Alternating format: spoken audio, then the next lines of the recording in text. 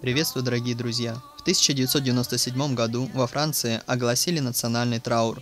Нация хоронила всемирно известную Жанна Кальман. супердолгожительницу, протянувшую целых 123 года. Президент Жак Ширак упомянул женщину в своей речи, назвав ее бабушкой каждого француза. Неизменно язвительная и остроумная мадам Кальман. прожила дольше любой другой женщины на земле, при этом не чураясь никаких земных радостей.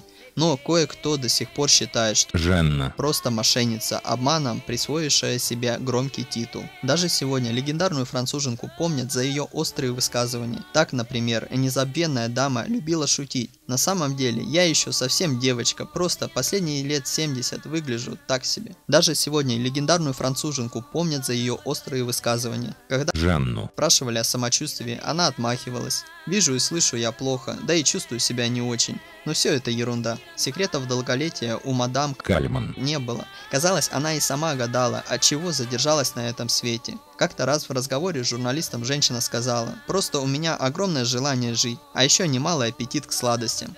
Старые люди самые классные! У них столько мудрости и опыта! А позже, общаясь с другой акулой пера, лукаво заметила, кажется, Бог обо мне позабыл, вот и все. По сети ходила легенда, в которой некий адвокат, позарившись на квартиру пожилой уже Жанны. Пообещал старушке выплачивать за нее квартплату до конца жизни француженки. План не сработал, юрист ушел в мир иной задолго до железной мадам. Более того, вдова покойного еще долгие годы была вынуждена платить Жанне. согласно их договору. Широко известно, до последних своих дней старушка пила вино, ела сладости и много ходила. Курила Кальман. практически всю жизнь и бросила лишь 117 лет. Да и то потому, что практически полностью ослепла. Сама подкуривать она уже не могла и приходилось просить посторонних людей о помощи. А для этого Жанна. была слишком горда. Кое-кто из ученых, наших соотечественников, между прочим, полагает, будто на самом деле Кальман. жила вовсе не 123 года.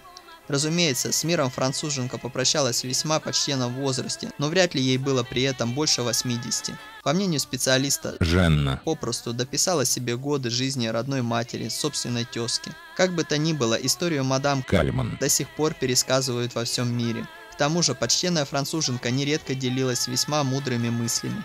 Если вы с кем-то не можете ничего поделать, не переживайте из-за этого, советовала Жанна. а ведь весьма отдельная мысль. Я получала удовольствие при любом удобном случае. Я соблюдала принципы морали, и мне не о чем жалеть. Мне повезло, говорила мадам. Кальман. Быть может, именно в этом состоит принцип долголетия – жить по совести и ни о чем не жалеть. И чем больше новых вещей ты делаешь и видишь, новых мест посещаешь и новых людей встречаешь, тем медленнее и насыщеннее будешь ощущать течение времени. Поэтому иди и сделай что-нибудь крутое.